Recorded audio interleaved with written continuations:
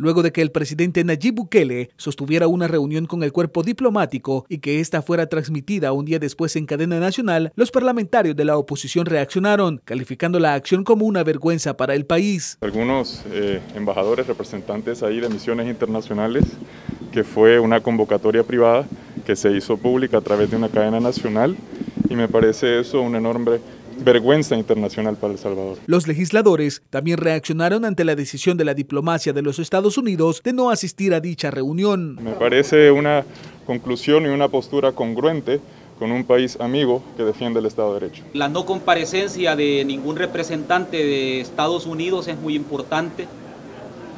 Pensamos nosotros que la comunidad internacional está pues consternada por los hechos ocurridos en El Salvador y yo creo que esta situación que ya ha provocado el pronunciamiento de más de 110 organizaciones a nivel mundial es una reacción hacia el quebrantamiento del orden constitucional en nuestro país. Por otro lado, los parlamentarios opositores denunciaron ante los medios que no han sido tomados en cuenta para tomar el nuevo protocolo de entendimiento y que han quedado fuera de algunas comisiones. Muchos de los partidos de oposición, incluidos el nuestro, no han sido tomados en cuenta a la hora de elaborar el protocolo de entendimiento con el cual se instala la nueva Asamblea Legislativa.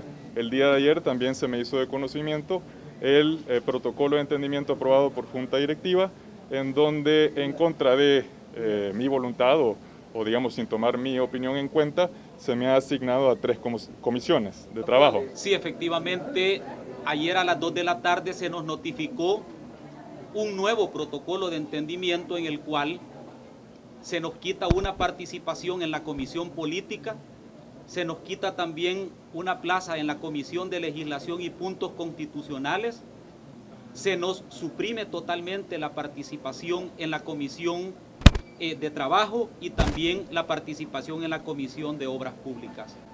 Esto redefine un poco la situación en tanto la segunda fuerza política del país no tendría representación en todas las comisiones. Quien también ha quedado fuera de algunas comisiones son los diputados del FMLN, tras quedar fuera de las juntas de salud, Hacienda y Educación. Con imágenes y redacción de Melvin Alas, este es un informe para la.